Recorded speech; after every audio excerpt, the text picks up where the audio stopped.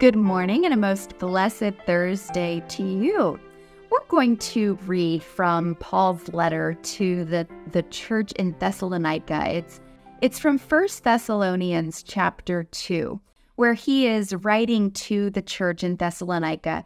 And he writes in verse 8 So deeply do we care for you that we are determined to share with you not only the gospel of God, but also our own selves because you have become very dear to us.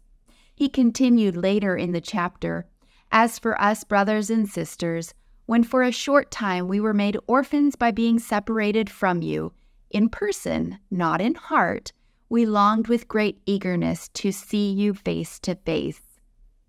As we went to uh, Costa Rica for um, for another mission trip with the same the same church in Costa Rica.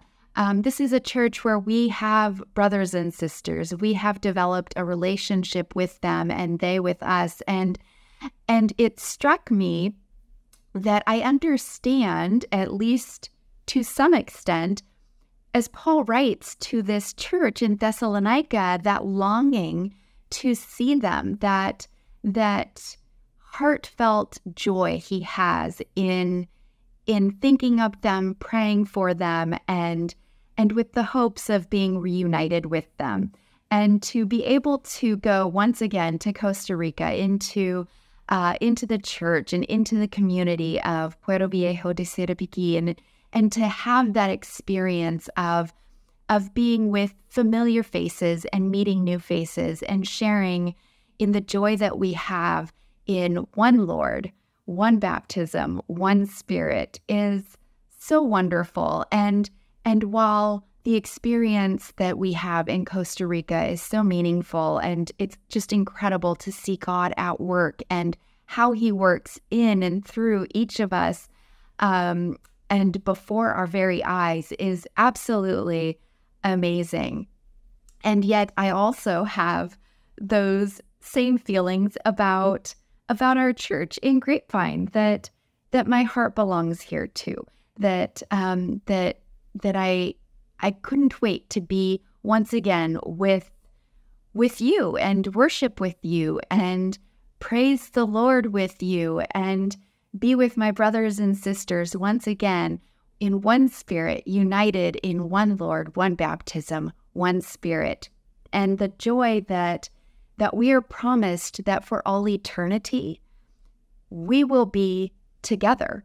It won't be a matter of being separated from our brothers and sisters in Costa Rica or being separated from our brothers and sisters in Grapevine, but we will all be together, united at the great marriage feast, united in the glorious presence of our Lord and Savior, Jesus Christ. And to know the joy um, the joy this side of heaven of getting to be with and in the presence of my brothers and sisters. It's it is so thrilling and so exciting. And to know that that the eternity that stretches before us is even greater than that because there is no need for um, either or because it's going to be both and we will be both together and together with Christ.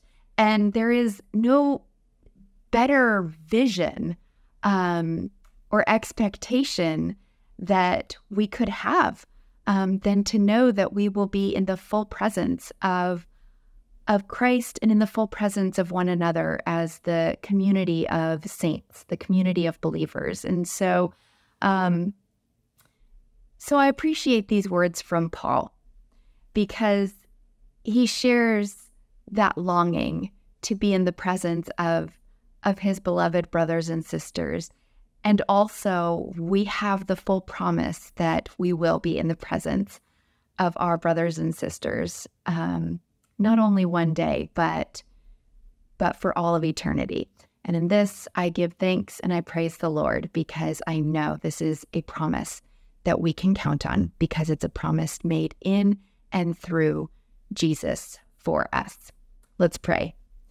Lord Christ, we thank you so much for the promise we have in you. We thank you so much that we are united with all of our brothers and sisters across the globe, all the community of believers, the community of saints, um, through you, through one one Lord, one body, one baptism, one spirit. And we thank you that though we don't necessarily know how it works, we know that for all eternity, we will be um, united with with all the believers, all the saints in in the glorious presence of you, Lord.